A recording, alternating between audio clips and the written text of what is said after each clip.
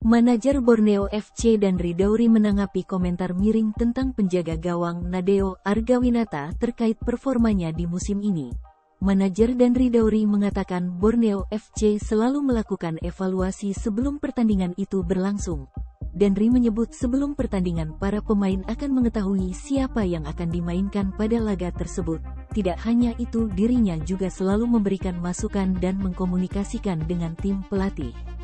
Jadi evaluasi yang kita harapkan tentu kami menunggu jadwal pertandingan bakal siapa yang akan dipasang segala sesuatunya kami tidak memberikan tekanan segala tetapi masukan dan saran akan kita komunikasikan kepada pelatih.